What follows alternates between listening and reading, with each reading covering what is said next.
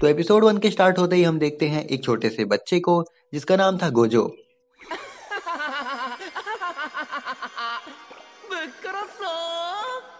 अरे नहीं, सातुरु गोजो नहीं, इस बंदे का नाम है वकाना गोजो।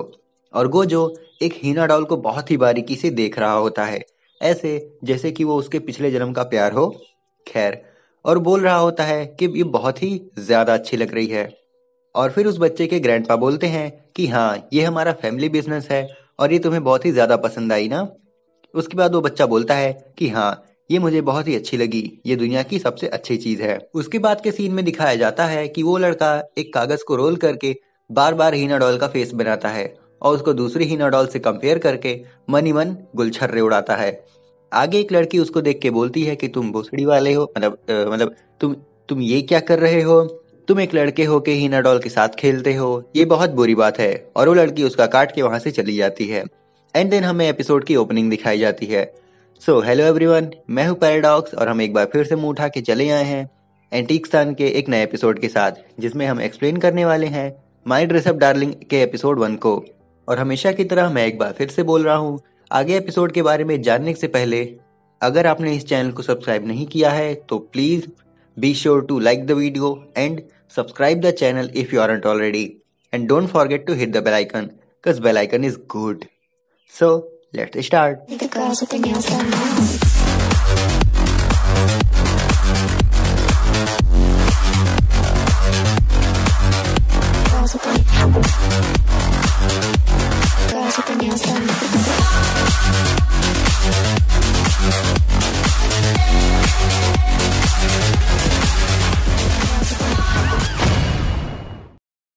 उसके बाद दिखाया जाता है कि एक लड़का बेड पे होता है और नींद से जाग जाता है।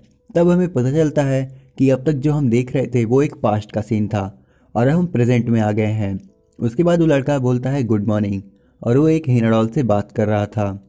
इसका मतलब वो लड़का वही छोटा लड़का है जो पास्ट में हीनाडॉल से ऑब्सेस्ड हुआ था, यानी वकाना गोजो। और आगे के सीन में हम देखते हैं कि वो लड़का नीचे आके कहता है, गुड मॉर्निंग, ग्रैंडपा और उसके ग्रैंडपा भी गुड मॉर्निंग कहते हैं। उसके बाद वो लड़का उसकी मम्मी, पापा और ग्रैंडमा की तस्वीर पे हाथ जोड़ के गुड मॉर्निंग बोलता है।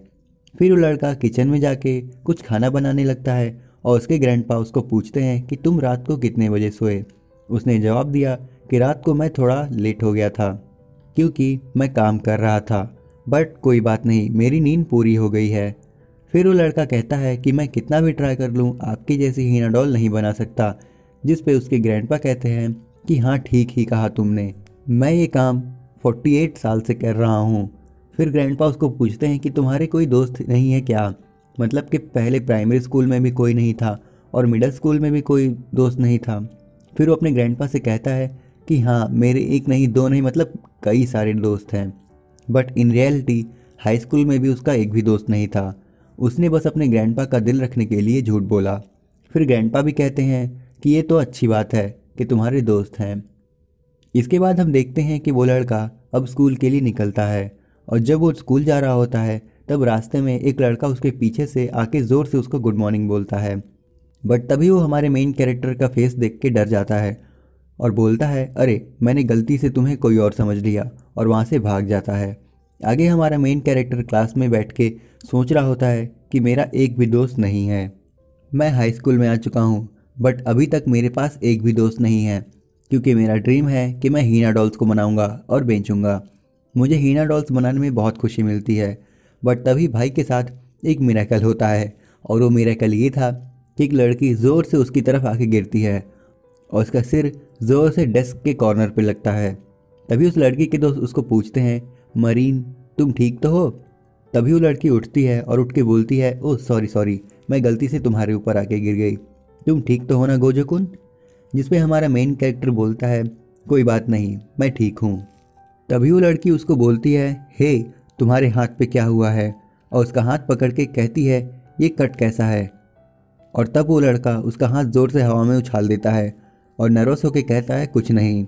बट तभी उसको रियलाइज़ होता है कि ये ठीक नहीं और मन में सोचता है कि मुझे ऐसा नहीं करना चाहिए था। आगे वो लड़की अपने फ्रेंड से बात करते हुए वहाँ से निकल जाती है। उस लड़की की एक फ्रेंड उसको पूछती है, तुम एक लड़के को डेट कर रही थी ना? उसका क्या हुआ? वो दिखने में भी स्मार्ट और हॉट था। तब हमें पास्ट का सीन दिखाया जाता है। उसमें उस लड़की का बीएफ उसको बोलता है कि, तुम्हारे पास तो किसी एनिमे का बैग है। तुम तो बड़ी अजीब हो। और उसको लेम कह के हंसने लगता है जिस पे मरीन उसको बोलती है कि, अगर यहाँ कोई लेम चीज़ है तो वो तुम हो। और फिर मरीन वहाँ से चली जाती है।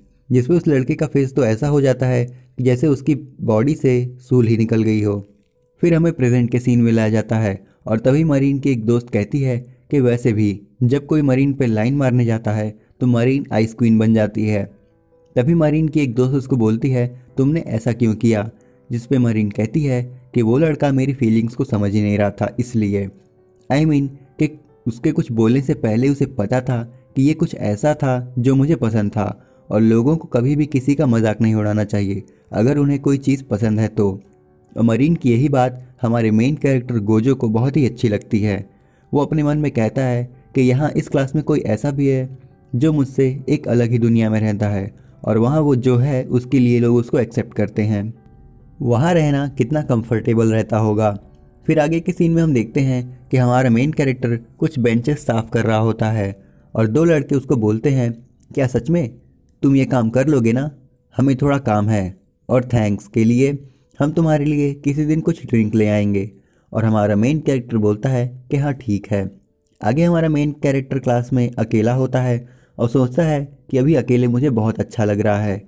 आई I मीन mean, फालतू के कन्वर्सेशन में नहीं फंसना पड़ेगा और किसी से बात भी नहीं करनी पड़ेगी। इसलिए मुझे यहाँ अकेले ठीक लग रहा है। तभी वहाँ मरीन आ जाती है और तभी गोजो सोचता है कि ओह ये तो किटागावासान है। शायद ये कुछ भूल गई होगी। तभी मरीन बिना कुछ बोले उसके साथ आके डेस्क साफ़ करने लगती है जिस पे गोजो उसको बोलता है कि तुम ये क्या कर रही हो?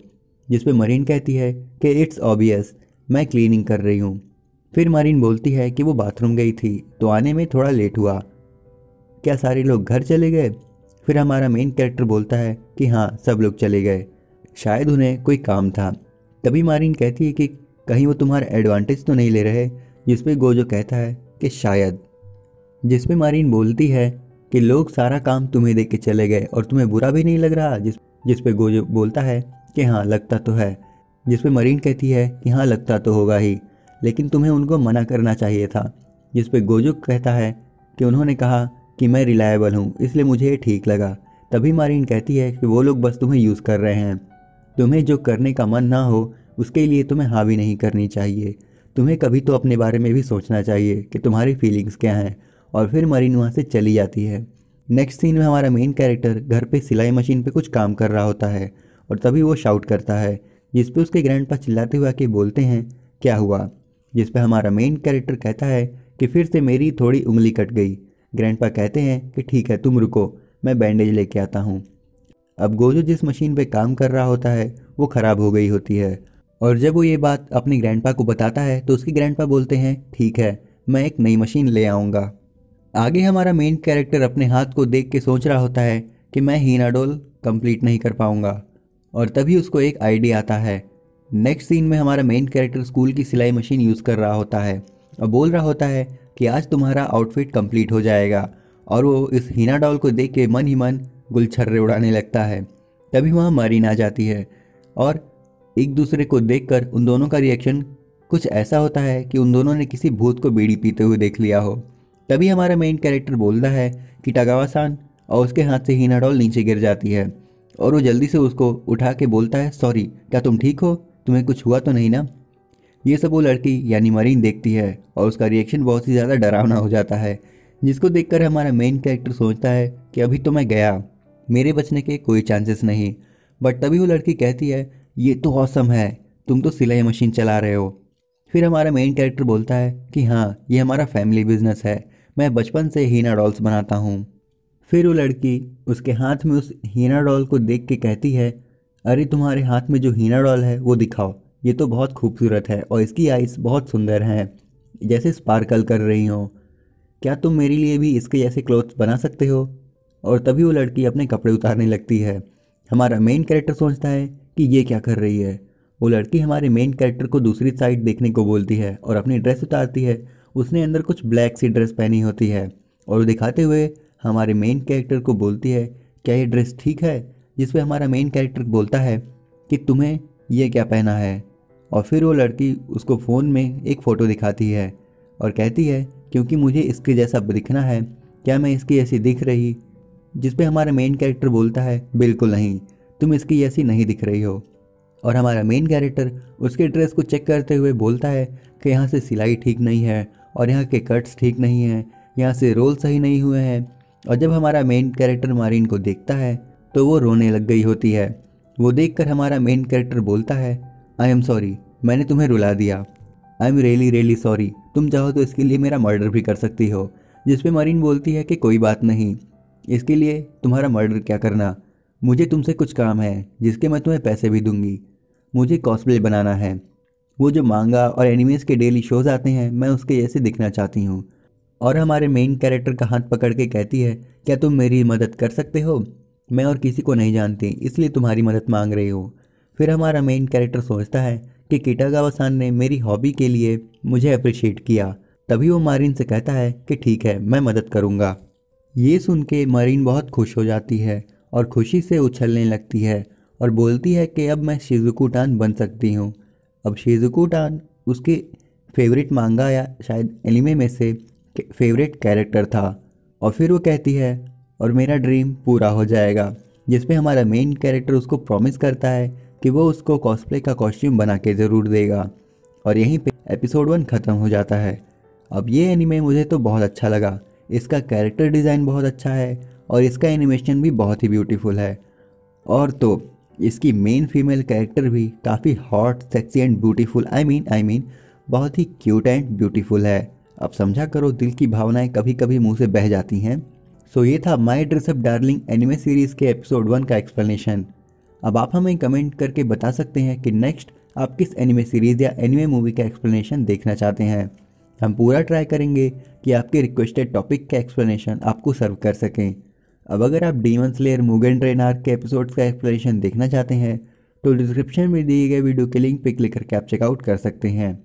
इसके अलावा, अगर आप ब्लैक क्लोर में दिखे आस्था के तीनों एंटी मैजिक डीमन शॉर्ट्स का एक्सप्लेनेशन देखना चाहते हैं तो उसका लिंक भी डिस्क्रिप्शन में मिल जाएगा। वहाँ से आप चेकआउट कर सकते हैं। अब आप सब तो देख ही सकते हैं कि इस वीडियो को बनाने में कितनी मेहनत लगी है। तो अगर ये वीडियो आप सबको ज़रा भी पसंद आई हो तो इसे लाइक और शेयर करें। और ऐसे कंटेंट्स के लिए हमारे चैनल को सब्सक्राइब करें सो आज के लिए बस इतना ही हम जल्दी लौटेंगे एक नई वीडियो के साथ टिल देन कीप वॉचिंग एंटीक्सान सायोनारा